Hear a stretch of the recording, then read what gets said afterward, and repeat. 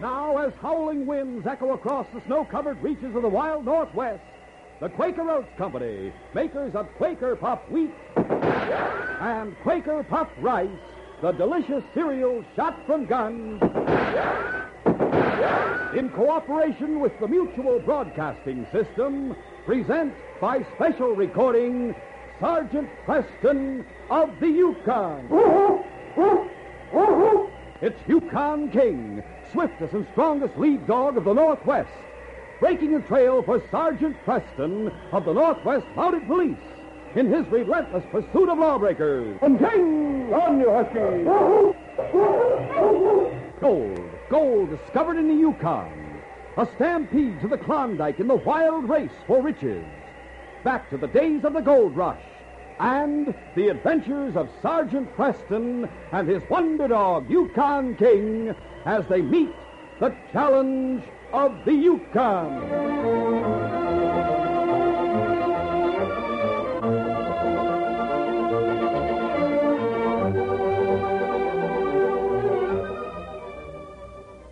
Our adventure will begin in just a moment. The warm weather and long daylight hours mean more fun out of doors, especially for the younger members of the family. But sometimes it's not possible to be outside, or it's important to relax and sit quietly for a little while. Then is the time to tune to Mutual. Every weekday afternoon at 5 o'clock, there are programs of imaginative entertainment that bring all of the adventure and excitement of the wide open spaces. Sergeant Preston of the Yukon, member of the famed Northwest Mounted Police, braves the dangers of a wild and lawless territory in the days when gold was king. With his faithful dog Yukon King, Sergeant Preston is a challenging example of courage and daring. And following Sergeant Preston every day, Monday through Friday, is Bobby Benson. Every weekday afternoon at 5 o'clock, the doors open wide on a whole world of adventure with Sergeant Preston of the Yukon and Bobby Benson, both on Mutual over most of these stations.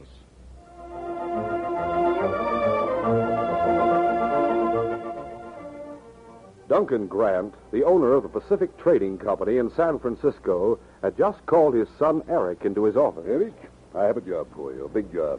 What is it, Dad? As you know, I've had my eye on the Yukon fur trade for some time. Now that the gold rush has stimulated the development of that region, I believe the Yukon Territory is going to become one of the richest sources of furs on the continent. It certainly looks that way. Earlier this year, I sent one of my agents up there, a man named Raymond Buckner. I believe you're acquainted with him, aren't you? Oh, sure. I know Ray Buckner. Well, Buckner's job was to scout out the situation, send me a report on all the independent trading posts in the territory. What was the purpose of that? There's going to be plenty of competition for the fur trade. If we expect to get our share of it, we've got to move fast. That means we can't wait to establish our own chain of trading posts. You mean you're thinking of buying out the independent trading posts? Either buying them out or else making contracts with them for the exclusive marketing of their output. I see. But where do I come in on all this? Well, son, I told you I had a big job for you. I'm sending you up to the Yukon Territory as official representative of the company to make the necessary deals with the independent trading posts. This is the biggest assignment you ever given me, Dad. Yes, but I'm sure you can handle it.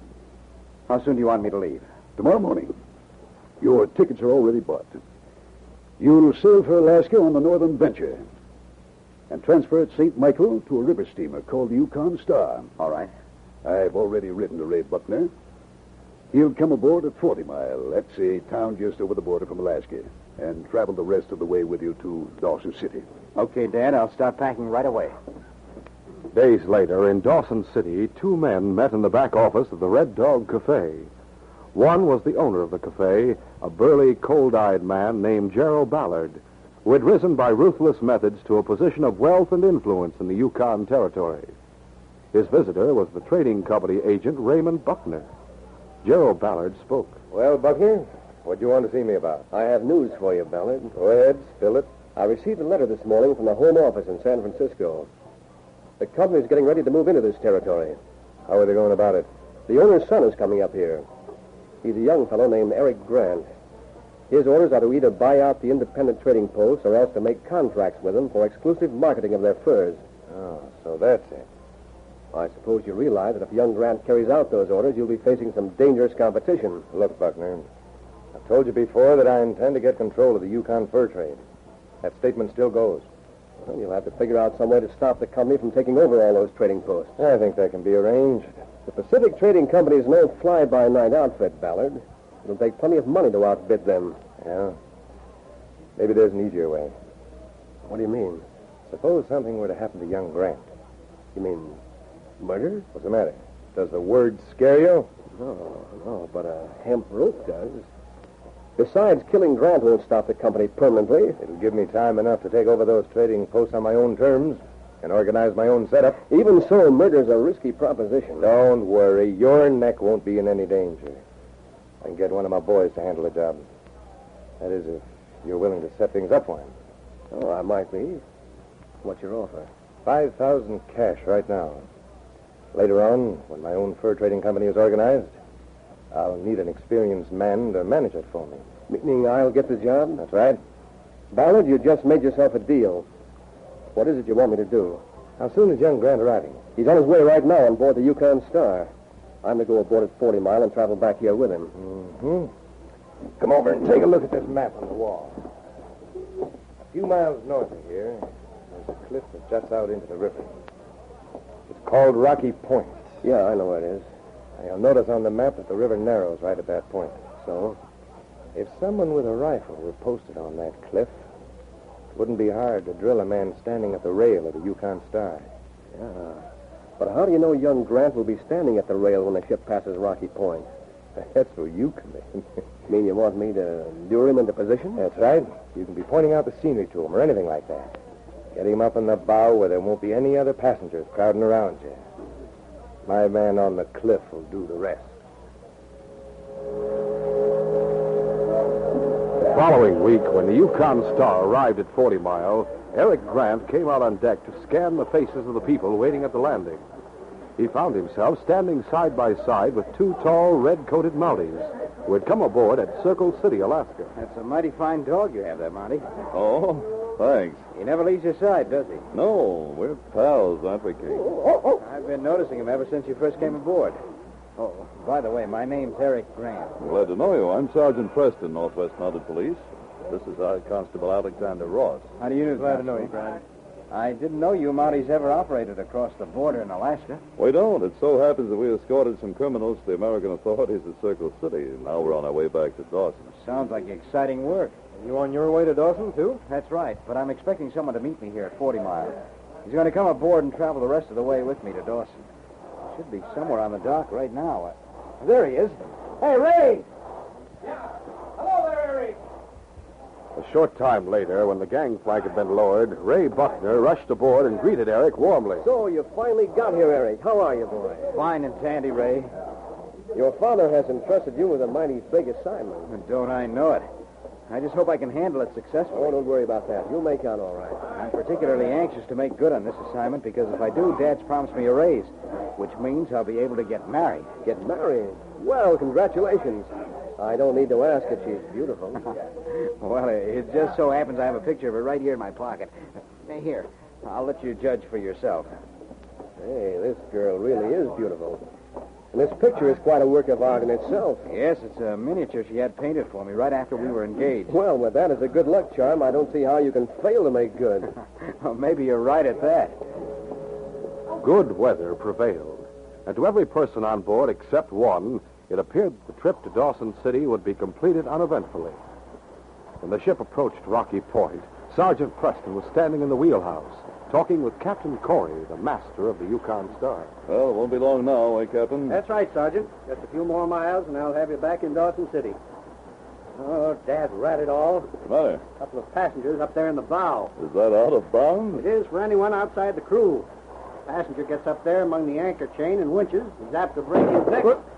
Great jumping Jupiter. One of them's been shot. Yes, it came from the cliff over there. Reverse the engine. Let's get down there and see if he's still alive.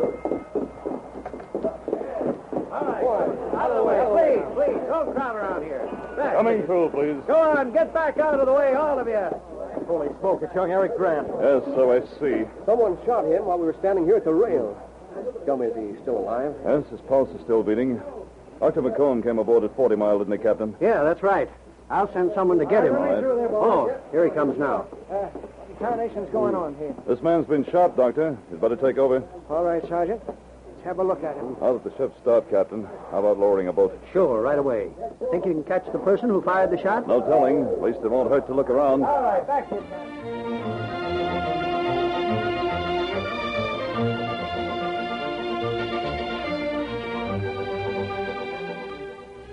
We'll continue our adventure in just a moment.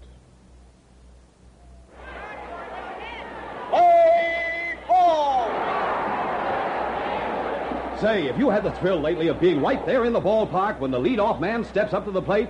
Have you been there to see the star players in person? See them wallop home runs? See the exciting double plays? Well, don't miss the fun another day. Come out to the ball game as guest of a major or minor league team. Walk right through the gate free if you are 12 years or younger and bring mom or dad or another paying adult. Yes, you can get a free baseball ticket. No mailing, no waiting. It's right inside a package of Quaker Puffed wheat or Quaker Puffed rice or Muffet shredded wheat. Or buy Quaker Pack-O-Ten and get two free baseball tickets. Names of teams and dates are on every ticket. Hurry to get your free baseball ticket in the special package of Quaker Puffed wheat or rice, Muffet shredded wheat, or Quaker Pack-O-Ten.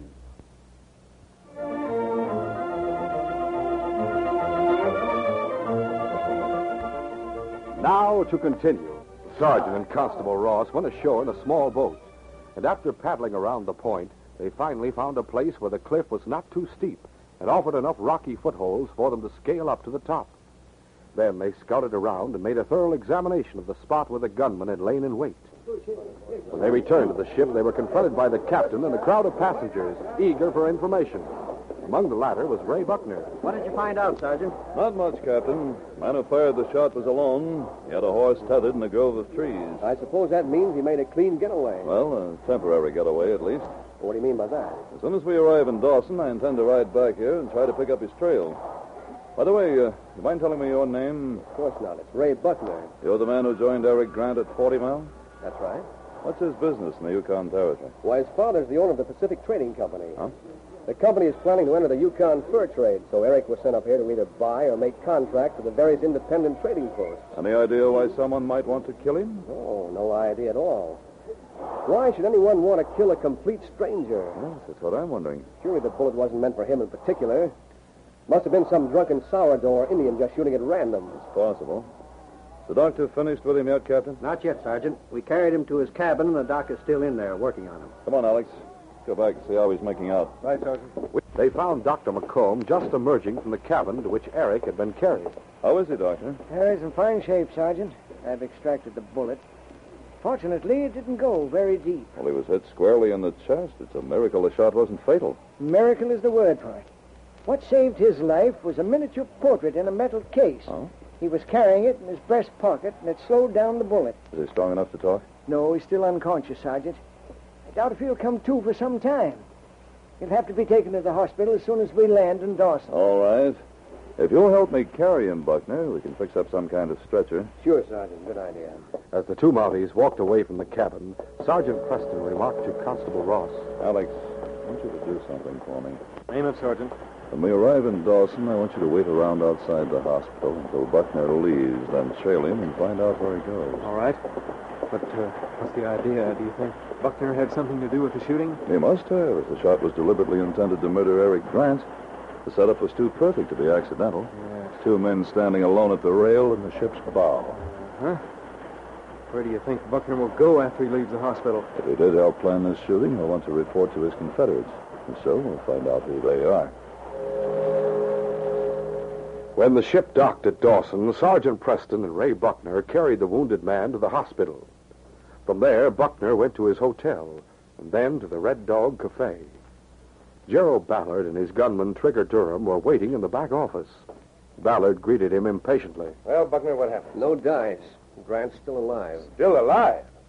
What's the big idea, Trigger? I thought you told me you killed him. I told you I plugged the man standing at the rail with Buckner, and I did. Sure, but Grant was carrying a metal picture case in his pocket. That saved his life. Of all the luck. That's not the only bad luck either. What do you mean?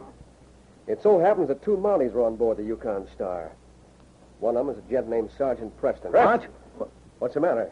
That guy Preston is the smartest mountie on the force. He's plumb poison. You Better watch out then. He's planning to ride back to Rocky Point and try to pick up your trail. Holy mackerel, that dog of his will be able to follow my scent, boss. That's just what I was thinking to myself.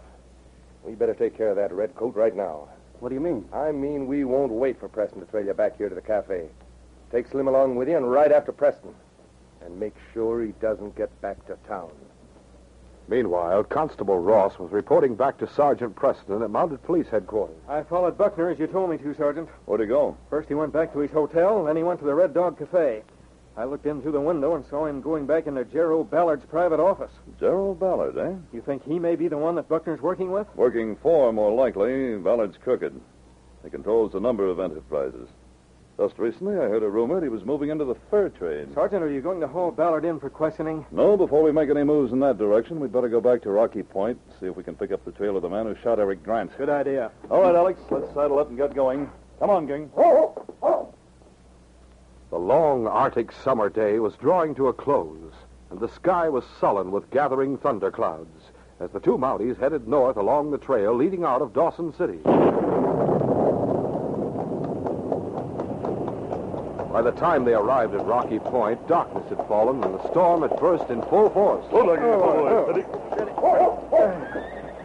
thing you brought that lantern along, uh, Sergeant. Right. We may need more than a lantern to pick up the trail in this storm. Sergeant lit the lantern and then led King to the spot where the gunman had lain in wait to kill Eric Grant. The great dog sniffed around carefully, and although he was able to pick up faint traces of scent, he couldn't follow it more than a short distance from the point where the gunman had tethered his horse. No use, Alex. Rain's washed out the scent. That gunman sure playing in luck. Uh, what's the matter with you, King? Get down behind those boulders, Alex. The first shot had smashed the lantern which the sergeant was carrying, but the Mounties had dropped behind the boulders before any more of the bullets could take effect. King must have heard them before they started firing. Yes, I thought that growl meant trouble. All right, Alex, let's give it back to them. The shots were coming from a screen of trees which fringed the edge of the cliff. The Mounties fired back at the flashes. Finally, one of their shots was followed by a distant scream. You got one that time, Alex. Yes, it sounds as though he toppled off the cliff. The other one stopped firing. I bet he's clearing out. Maybe a trick to draw us into the open. The Mounties waited tensely, but there were no more shots. And finally, the sergeant decided it would be safe to investigate. Advancing cautiously among the trees, they located the spot from which the crooks had been firing. If they were mounted, they must have left their horses somewhere back down the trail. Unfortunately, it's too dark to read sign without a lantern. You suppose the man I shot really did fall off the cliff? Let's go down and take a look.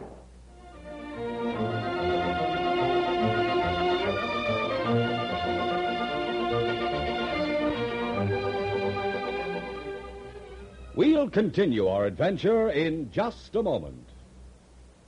You should have been at the ball game today. I saw three home runs. And guess what? I got one of the home run balls.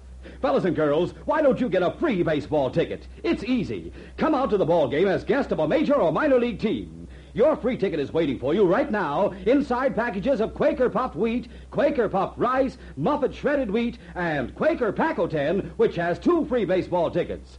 Yes, if you are 12 years or younger, just bring mom or dad or another paying adult and see wonderful major or minor league baseball games free. Names of teams and dates are on every ticket. Get as many free tickets as you want. No mailing, no waiting. When mom buys breakfast cereal, just be sure she gets the kind with a free baseball ticket inside. That's Quaker Puffed wheat and rice and Muffet shredded wheat. You get two free baseball tickets inside Quaker Pack-O-Ten. So don't miss out another day. See the star players wallop those home runs.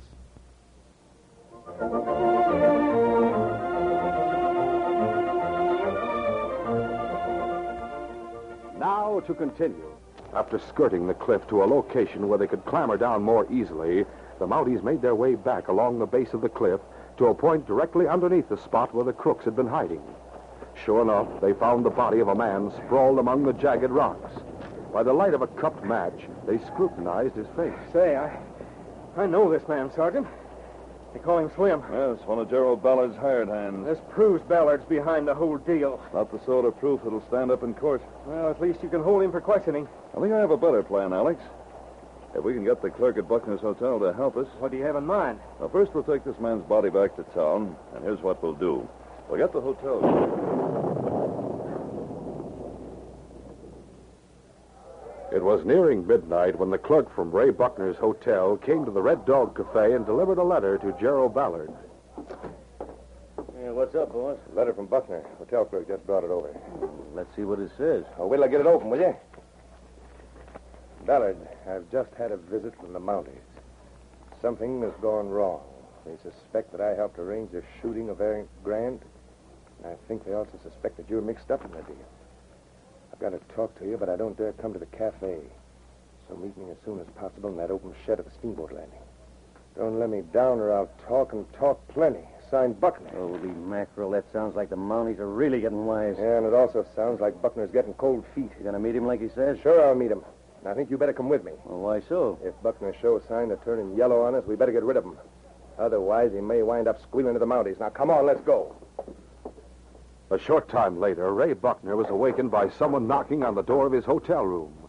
After getting out of bed and lighting the lamp, he opened the door. Uh, Sergeant Preston. What's up? I've come to ask you a favor. A favor? Yes. Needless to say, you're as anxious as I am to catch the person who shot Eric Grant. Of course, of course. With your help, I may be able to do just that. I'll be glad to help. What do you want me to do? I'd like you to pretend that you're under arrest and come with me to the steamboat landing wearing handcuffs. What's the idea? Well, frankly, I'd rather not say just now. My plan may not work. But can't you at least give me some idea what you're up to? Well, put it this way. If the man I'm after thinks you've been arrested for the shooting, it'll put him off guard and help me capture him. Oh, so that's it. You're willing to do it? Why, why, sure. Naturally, I want to help any way I can. All right. There's no time to waste. Get your clothes on. Let's get going. Meanwhile, Ballard and Trigger Durham had already gone to the steamboat landing and were waiting just inside the shed. The rain had ceased. Finally, the two figures appeared in the glow of light cast by the lanterns on board the Yukon Star, which was moored farther down the landing. Wait a minute. Here come two guys now. There's a dog with them. Hey, that one guy's a redcoat. Holy mackerel, and the other one's Buckner. And he's wearing handcuffs. Why, that dirty rat. He Must have squealed on us. He's told the Mountie you were here to meet him. Yeah, that's what he's done, all right. Suppose they've seen us yet? No, no. Wearing in the shadow here in the shed. Wait a minute.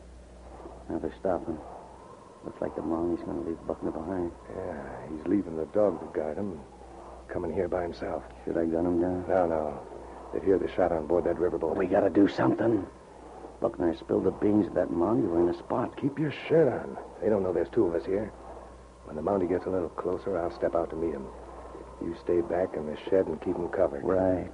A moment later, as Sergeant Preston approached the shed, Gerald Ballard stepped forward into view. So you kept your appointment with Buckner, eh, Ballard? Well, what about it? I'm placing you under arrest in the name of the Crown. Yes, again, Preston. Drop that gun, Mountie. Didn't know I had someone covering you from the shed, did you? Same man who tried to kill me earlier this evening at Rocky Point, I suppose. That's right. And the same man who tried to kill Eric Grant. Only this time he's going to do a little better job. Come on out and meet the Sergeant Trigger. Sure. Well, well, if it isn't Trigger Durham. You're mighty cool, aren't you, Preston? Just what do you think you're going to do now, Ballard? I'm going to have Trigger put a bullet in you. And another one in that double-crossing rat Buckner. Not here, of course. Someplace where the shots won't be heard. But one thing I'd like to know, just out of curiosity. What's that? Why did you want Eric Grant killed? Oh, didn't Buckner tell you? I'm going to get control of the fur trade in this territory. I don't want Grant's company getting in my way. Oh, thanks for the information. All right, Alex. Reach, go there. Hey, what the... Hey, another Mountie. I'll get him. No, you don't. No! As Trigger dropped his gun and clutched his arm in pain, Ballard lunged at Preston. You won't take me, Preston. Grabbing the sergeant, he tried to swing him around to use as a shield. But Preston knocked him loose with a jarring right to the face. Why, you... Ballard recovered and lunged back into the fray with a wild glint in his eyes. He was a big, thickly muscled man, fully as tall as Preston, and he fought with a cold, desperate fury. His heavy fist rained blows at the Mountie, but only half of them landed, whereas every one of Sergeant Preston's punches found its mark with telling effect. Finally, the sergeant drove a terrific right to Ballard's jaw that sent the crook sprawling weakly on the wall. No. Had enough, Ballard? Yeah. Yeah, I know when I'm late. Then get up on your feet. You and Durham are under arrest in the name of the Crown. I thunder you wouldn't have caught up with us if it hadn't have been for that squealing rat, Buckner. Buckner didn't give the game away. You did. What? I was the one who sent you that note, and I tricked Buckner into uh. coming here to make you think he'd confessed. Holy mackerel, you... So that's how this other redcoat happened to show up so conveniently. That's right. The constable's been hiding behind those bales uh. ever since you first came to the shed. Uh. Now that you've confessed, you, Durham, and Buckner will pay the penalty for your crimes. which means that this case is closed.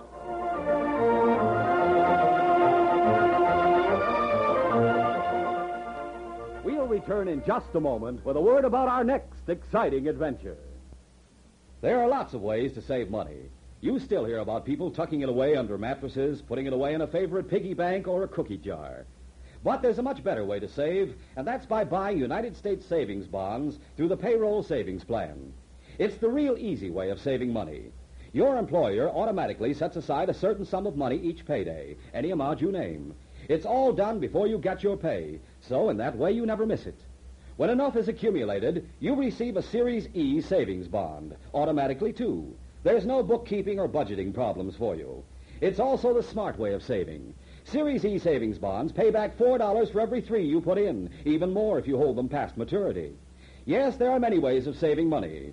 But today, while you're thinking about it, join the 8 million other Americans who find it easier to save through the automatic payroll savings plan. This message is brought to you as a public service.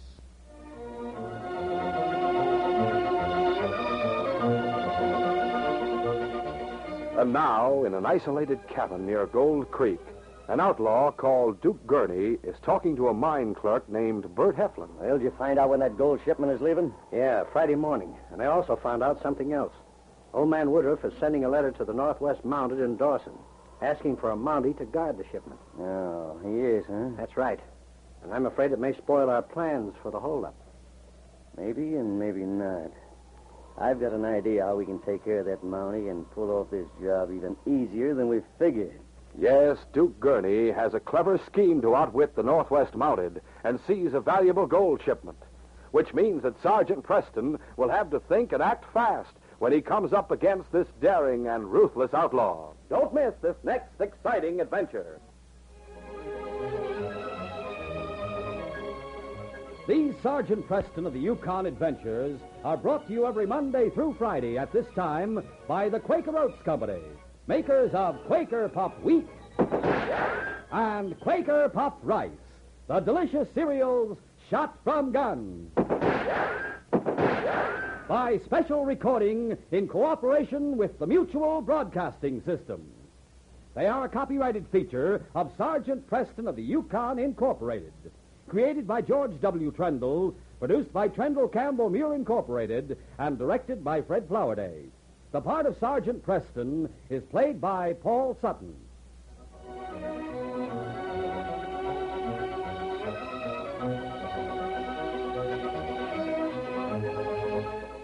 This is Jay Michael wishing you goodbye, good luck, and good health from Quaker Puff Wheat and Quaker Puff Rice. So long. This is Mutual, Radio Network for all America.